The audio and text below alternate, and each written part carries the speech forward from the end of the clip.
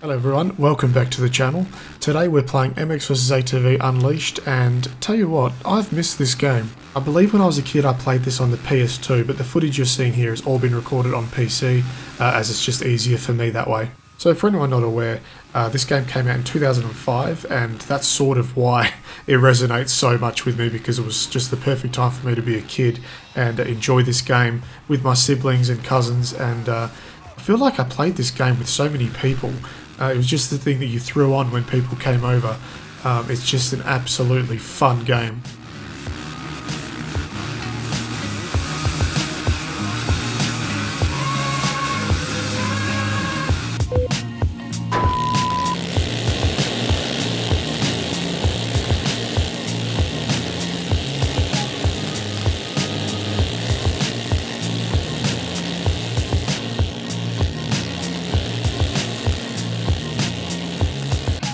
Being someone who grew up riding ATVs, uh, I always tend to pick this class and it is a lot of fun. The AI is competitive too and you can scale the difficulty, which is a nice of a game of this era.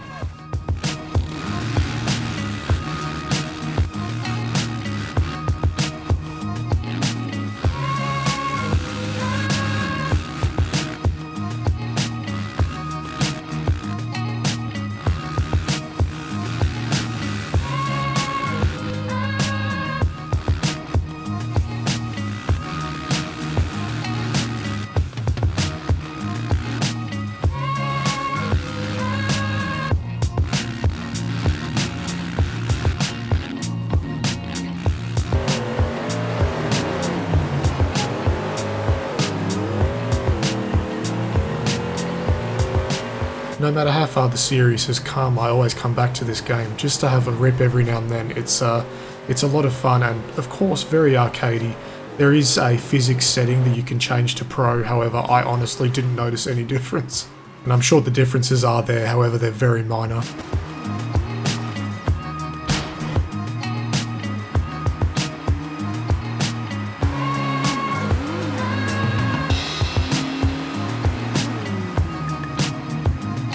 I tried to showcase a few different vehicles in this video. Um, I didn't get to all of them. I believe I left out the helicopter and maybe a buggy, but um, yeah, there is so many vehicles in this game.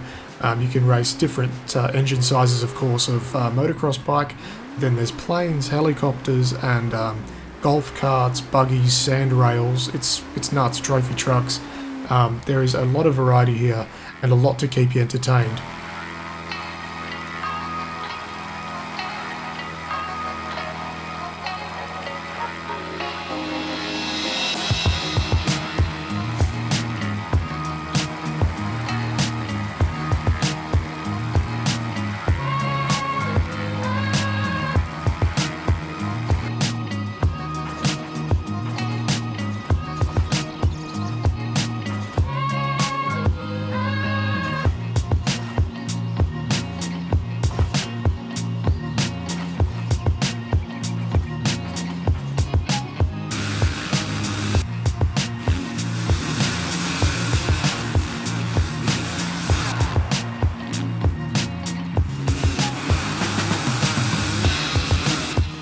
Plenty of customization when it comes to the rider as well.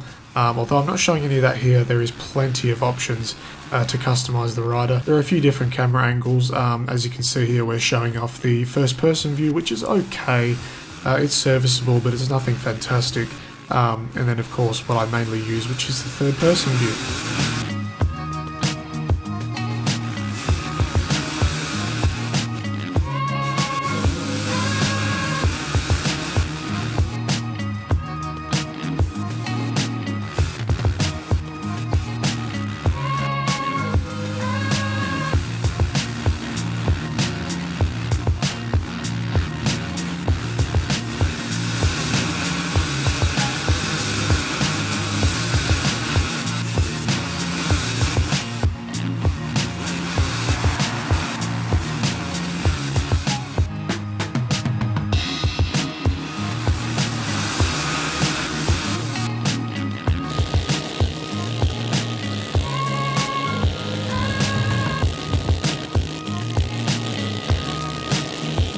Graphics aren't anything to write home about, however the music in this game is awesome and unfortunately I can't play any, any for you, um, but if you do play the game I think you will agree the music selection that they made was absolutely perfect for the genre and the type of game that it is.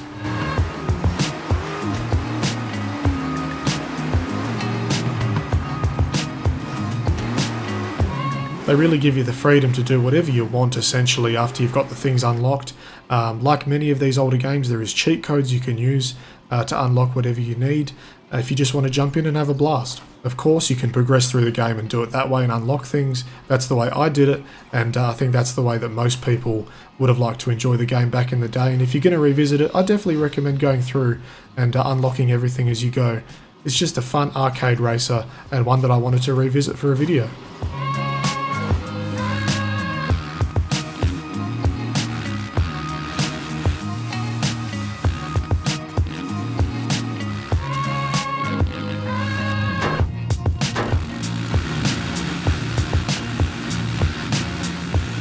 Let me know down below guys, did you play this game? Does it hold any nostalgia for you? I'm sure it does. Um, so many kids I knew growing up had this game.